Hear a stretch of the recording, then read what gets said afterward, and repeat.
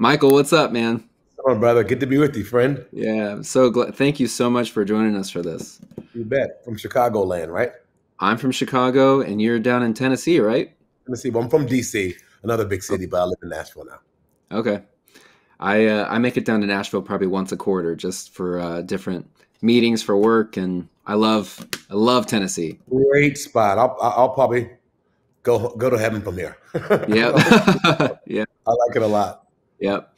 So, Michael, a lot of people uh, who've been in Christian music, you know, include like me. Even I'm thinking back when I was a teenager. Like I knew you from DC Talk. I mean, I remember my mom dragging me to a you know acquire the fire events. I remember going to one in Detroit one time, and uh, leaving there changed, man. It was awesome. Like you had such an instrumental, huge part in the lives of so many, so many people, and it's just incredible. I'm I'm honored to be able to speak with you.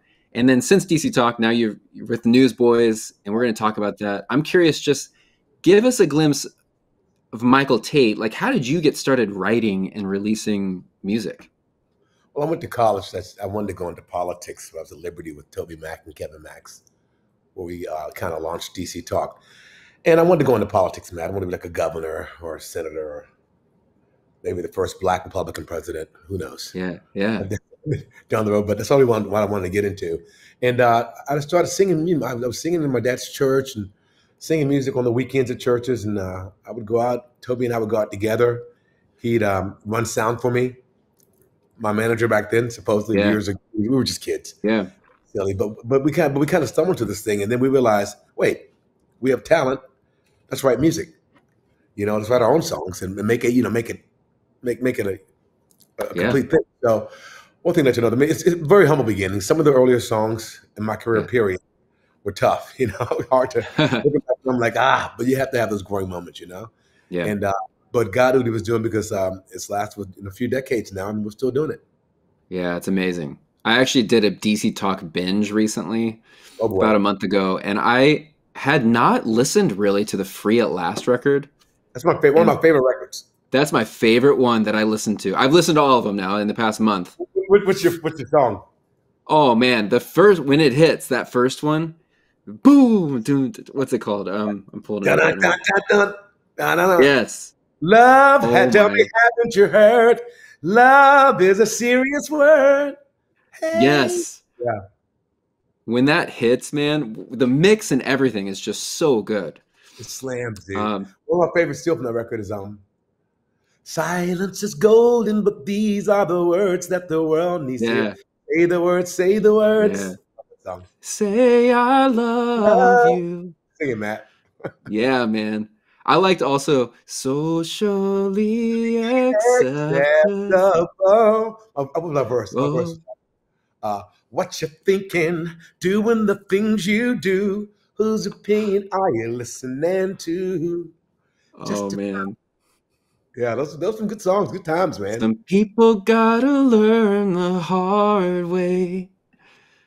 Oh, You trying to take my trying to take my job, Matt? What you doing, man?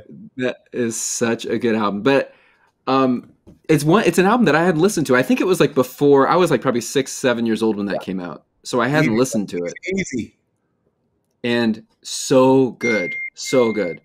But Thanks, so how did you get into the Newsboys? How did that start? Well, this is really funny because I say God works in mysterious ways and mischievous ways because I, along with Toby and Kevin, were, you know, newsboys and DC Talk back in the day, like the Stones and the Beatles, respectively speaking. And uh, Yeah. we were we were we were frenemies, you know. We did our thing and did their thing. But Yeah. about I guess about 12 years, 13 years ago now, I got a call from Wes Campbell, the manager, said, Hey, Peter wants to take a break. Will you come in and step in for a while?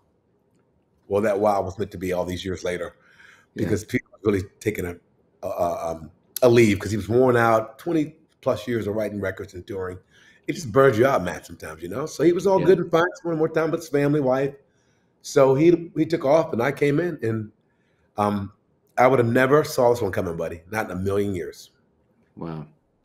I when I think about the Newsboys, I remember being on the playground in like sixth grade, and at that time the big song was the uh, "They Don't Serve Breakfast in Hell" song. Yep, yep, yep. That's Do crazy. you guys ever play that still?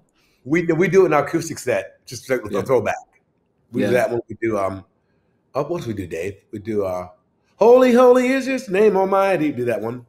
Yeah. We do uh, "Angels," "Entertaining Angels." We do "Shine" in that set. Yeah, it's all the Yeah. all the middle. It's you know, old school set. Entertaining Angels. I forgot about that. That was a good one too. It was good too, yeah, right? Yeah. One to another. Yeah. Entertaining angels by the light of my. TV screen 24 7. You wait for me. Yeah.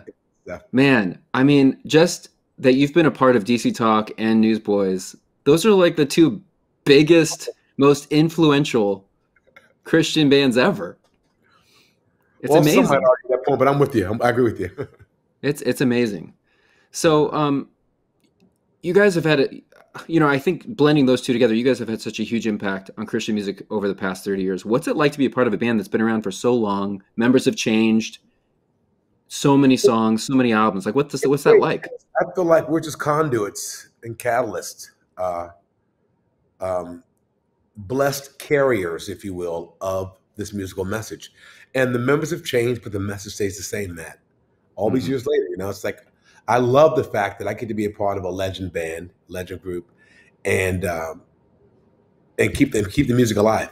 Because Yeah. the, the, the- I always say we'll pass away. Some of us will we'll, we'll leave the band maybe one day, or we'll we'll pass and go to heaven one day. But the Yeah. songs live on. So we're just carriers of the good news, and, and it's Yeah. it's an honor to be that. Yeah, it's good. So you've been doing it for a long time. How have you seen Christian music and worship music change over the years? Oh, What would you say is like the biggest thing that you've seen change? Probably the fact of, of, of when you listen to, to Christian radio today, um, most songs are vertical, not so much horizontal. DC Talk was pretty horizontal, and we were vertical, but you know, we were social conscious lyrics. Now everything's kind of leaned towards pretty heavy lean on worship, and that took me by a bit of a, a, a surprise because I'm not a worship writer as such. I like, I mean, I, mean, I think my life is worship. You know, how you treat people is worship, how you love your family's worship. But it's tough sometimes when you um, are used to being a pop writer. So if you listen Yeah. most songs I write, they, they kind of lean on the pop side. Yeah. Still honor God, talk about God, all that stuff. But I like to kind of keep both. I like when the vertical's in place, the horizontal works great too. So keep Yeah. both. You know, Yeah. Do you But get think asked to lead? but, that- but I think with the music has changed quite a bit, and it's great. It's because that's what people are right now. Yeah. Do you get asked to lead worship?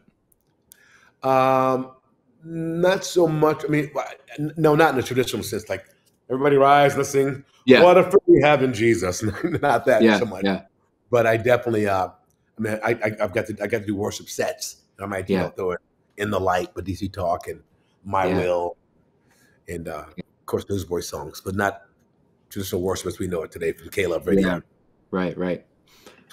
So, you guys tell us about your tell us about the new single you got. He lives out. It's it's more of a congregational worship song than some really is. So Yes, tell us about that song. we do some songs sometimes we don't write because we, we try to chase the art, try to chase what's working, what people want to hear. So Yeah. one of my favorite things we do in Newsboys is we take songs that have been put out or just newly released and put our spin on it. We newsboyize it, as I say. And um, he lives is one of those songs uh, that just I think my manager Dave bought it to us, Dave Wagner, and uh, I heard it at church. We were like, man, this is fantastic, and what a powerful message for Easter Yeah. for the very fact that we know our God's not dead because He Yeah. lives. You know, so Mhm. it's just what we talk about. It's a part, and people. And the thing is, people at our concert are also churchgoers, so they all know the songs. So, it's- so that's another familiar factor musically in, in the show. Yeah. Right. Love it. It's a, it's a very strong song. Yeah. It reminded me of like when you guys did God's Not Dead. Yeah, yeah, yeah. Tasty's Kind of put your own spin on it. Yeah. So how do you guys continue to keep things fresh in songwriting and touring? Because I can imagine that gets, I would think it gets gets old after singing that song so many times. Or like everything else, bro. I mean, I do believe the old cliche that uh, if a man enjoys his occupation, he'll work a day in his life. That's true because we Yeah. get road weary, we get tired, we get delayed flights. Yeah. Uh, we have a lot of responsibilities at, at times, but still, it's such a beautiful thing to do what you love to do. yeah, Uh, and it doesn't seem like work. But the, the reason we keep it fresh and keep it fun is because we enjoy it. We, we didn't enjoy it, Matt McCoy, I'd be long gone, buddy boy. I'd be like, I got three words for you. NSYNC wrote a song about it. Bye bye bye. I'd be Yeah. gone. But I enjoy it. I love it. and it's Yeah. and it's, it's it's um I feel alive when I do this. Yeah. And God given us this music, and given us this platform, so He's going to use it. What was the pandemic like for you when when you weren't touring? Because I can imagine if you're Hell, you, hell know, on you earth. love doing it. hell on earth. I hated it, man. I was miserable. Just a people lover, you know. Toby told me. Toby called me like a month into the pandemic. He says, "Tate, you're gonna have a rough time, buddy." I said, "Why?" He says, "Because you can't touch people, you can't hug them, you can't be." Because I'm, I'm that kind of person, you know. Yeah. So long story boring. Uh, it was it was good in the sense we, we got to write the stand record, which is my probably my favorite record that I've done with Newsboys. yeah. And uh, that was a great time to make that record. We had, we had two years to go back in and rework lyrics, melodies, choruses, sec- musical sections. And um, usually on the, the kind of time when you're, when you're touring, you, you're off a few months, Matt. You might get a few songs in. Then you go Yep. for you know a month of touring, and come back and write another. So it's hard to have Yeah. that kind of dedicated time. So I had time on my hands. So Yeah. that was good.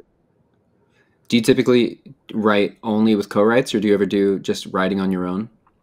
I, I, I can I usually start a song and I'll probably finish it in the co-write. Yeah. I've written Yeah. a few songs like that they're really hard, uh, heartfelt for me, and hard deep for me that I've, I've, I've uh, written myself. But I prefer other perspectives too because I feel like, you know, Yeah. like minds with Yeah. talent, keywords Right. with talent can make something special happen. Yeah. Right.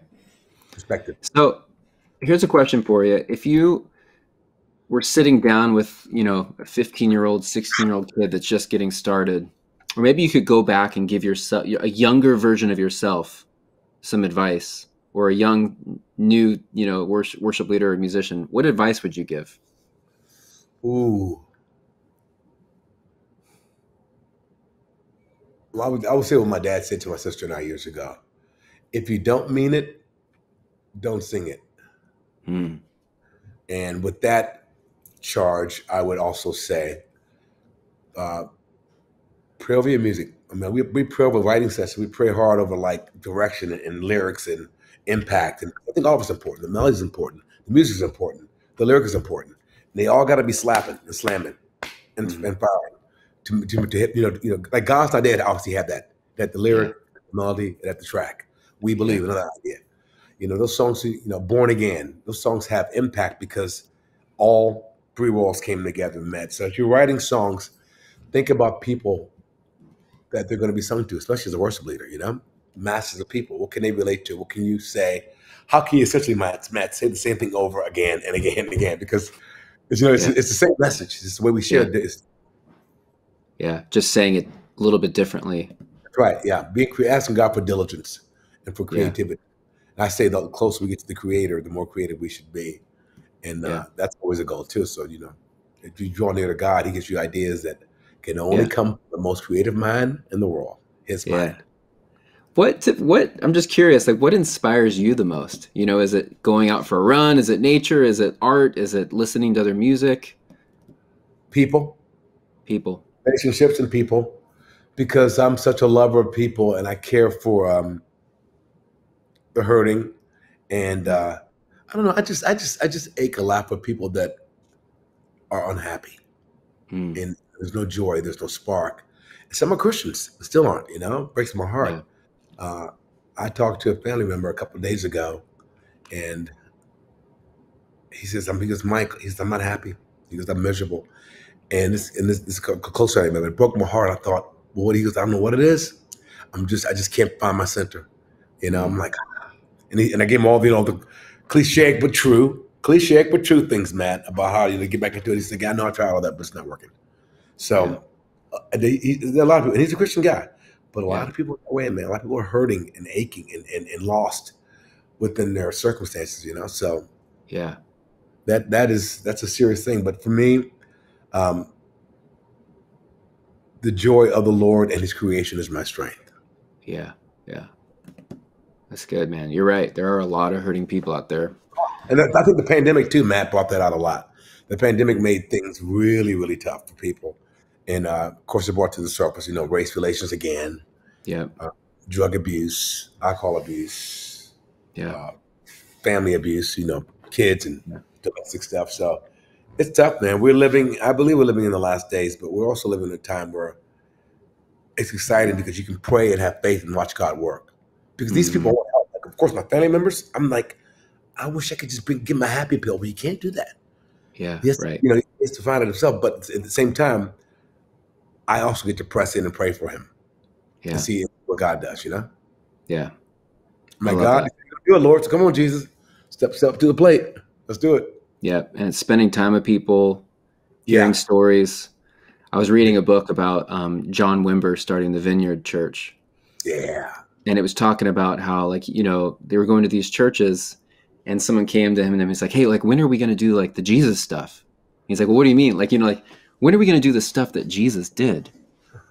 Like he's like, and and a lot of times you know churches we're kind of just stuck in this like you know we do the service and listen to the sermon, do the songs, but we're not actually doing the Jesus stuff. And I think that now more than ever, churches are having to rise up and do the Jesus stuff, like Yeah. actually have spending time with people and building Yeah. relationship and hearing stories and That's how my dad was when we were kids. My dad was the pastor of church in D.C. and now he we had a Wednesday night prayer and Bible study, Friday night uh, um, visitation, Saturday Mhm. knock on doors, you know, yeah, and uh, invite people out to the church. That's it seems so old school now to go, go knock on the door, door to door, and go, "Hey, how you doing? I'm Michael Tate. I'm a part of Bible Baptist Church. I want to tell you about Jesus. You got a couple of minutes?" My dad would Yeah. do that every day, man. I mean, every weekend. It was Yeah. crazy. I'd go with him. Like, what are you doing, Dad? You know, it was Yeah. crazy. That right. But we are entering, a, I think, a season where people are are going to really want that and craving that, just real Yeah. connection. And I bet you there are people at home right now, and we talk about people that are hurt and lonely, that would love for someone to come knock on their door and say, Yeah. "Hey, uh, you know, I know you, want to know Jesus, you know, or what? Just encourage, I don't know, whatever it is, you know what I'm saying? But but but they're not going to come out and ask for it. Right, right. I'm- they would love it. Yeah, they would love it. I believe it. I be- yeah, I'm with you. So give us a little glimpse. I'm just very curious. Give us a glimpse of like what a normal week or a normal day looks like for Michael Tate. Well, usually we come home. Well, I'll start with the, with the, with the tour. We usually leave on Wednesday nights to go to our first city of the four day run Thursday, Friday, Saturday, Sunday. Yeah. Okay. So we leave on a bus. Say we go to Chicago. Eight hour trip to Chicago. Wake up next morning, eight o'clock, nine o'clock. We'll be in Chicago on the bus, at the venue, or the hotel. And I get up, have some breakfast, look at my phone, get in the word a bit. Sometimes vice versa. Word then the phone, but some of the phone gets me first and sucks me away yeah. you know, and uh, and then I'll work out with the band. Jeff Frankenstein, our keyboardist, our band director, we he has, we do a workout every day. Uh, just kind of cardiovascular stuff and Yep. isometric thing things. Yep. And then Yeah. we'll do that, and then we'll do a sound check. Then I'll probably take a nap, read a bit more, have dinner, then a meet and greet for the show, shaking Yep. hands, with some babies, blah blah blah. Then the two-hour show, twenty-eight songs, Matt, twenty-eight songs, count them. Wow. Yes, Uh, Wild. yeah, two-hour show. Then after it's over with, we do another meet and greet with those people who sponsored kids, uh, which is our ministry we have with Child Fund, and we'll do that. And um, worn out, days over, get back on the bus, listen to music, eat some junk food, not too much, but either sushi or pizza. Sushi is my Yep. favorite, and uh, head down to to next, the next place on Friday night. On, on Friday night, Saturday. And then Monday morning we come home, tired, crusty eyes, baggage in our eyes, walk in the house. Monday's like my Saturday because you know I'm back home from the weekend, Yep. and then uh, Tuesday I'm gonna try to get some things done. Then leave again on Wednesday. Do it again. Yeah, yeah. 25 plus years doing that, man. It's crazy. It's a dream, but you love it. I love it. It's good, man. And you're and you're anointed and gifted at it. Well, thank So- you, sir. You got to do it. Yeah. Love it. Do you guys use tracks? Uh, when we play it, put it this way, we play a song, uh, Like to a click? like do something magnetic. Click for sure, yeah. And like the horns will be on track, yeah. Cause I want all the sounds here, you know? Yeah. We got tons of keys live, two guitars live, bass, Yep. drums. But there's always a little bit more you want. You know, I want, I want the whole kitchen sink. Yeah. So yeah. I might put like, you know, a little a BGV vocal on, this, on a track over here Yeah. because I want my voice to be heard the way it was in the record. Yeah. you know? yeah. Not seeing the lead part, of course. And yeah, whatever, whatever it takes to make the live experience amazing. Do the tracks typically have guide cues in them? Like verse, two, three, four. no, No. no, Yeah. because you guys know them. You're Oh, like yeah, the, yeah, yeah. you know, like the church musicians. You show up and you're like, "What song are we?" Two, three, four. Love so bold. No, playing? yeah, I can't. I can't know where, where I'm going, Matt. Yeah, that's I know good. the Song myself, obviously, or if I did cover the song, I know it so well that I don't have to worry about that stuff. yeah. That's why you're the professional. Yeah. Good man. So, all right, last question. What's what's next for Newsboys? I mean, you guys are doing a tour. What's happening right now? We are working on. uh We're doing summer dates, and we're working on a brand new record right now, which I'm excited about. Piece by piece, it'll be done when it's done. But uh, we just added Adam Agee to our band lineup. He's in the band now. Speaking of changing faces and new Yeah. band members, he was the lead singer of a band called um, Stellar Kart back in the day, and then he did Audio Adrenaline for a while. But uh, kind of recruited him for the band. He plays great, sings great. We write, we're writing together for this new record, so we're doing that a lot this summer, and just spend time with our families, loving people, man. And then in the fall, hitting the road with this new tour, and uh, not sure who we're bringing out yet.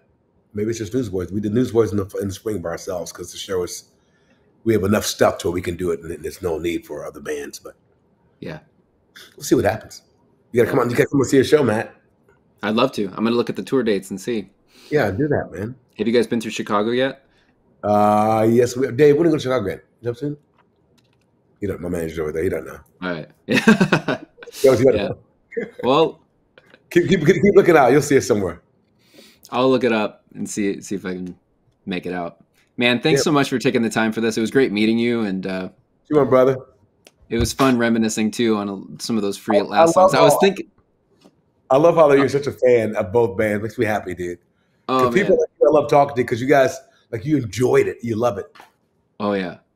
I actually remember my brother having um, one of those songs on a cassette that I think it was like a mixtape cassette that he made, and it was the uh, "Lean on Me Yeah, When yeah. You're Not Strong." I'll be your friend. Yep. Remember I'll well. help you Carry on. carry on. Oh man.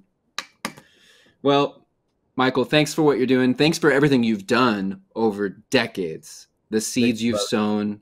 I'm telling you, there are a lot of people like me who, I mean, I've been in Christian music now since I was a teenager, and it, I was highly, highly influenced by you guys. And thank you because it's really changed my life, and it's going to impact generations too to come from that. So, You're right. That's the goal. That's the prayer. man, you're doing really good work. So it was great meeting you, and thanks for taking the time. Thanks, brother. See you at the show. Yep. See ya. Bye bye.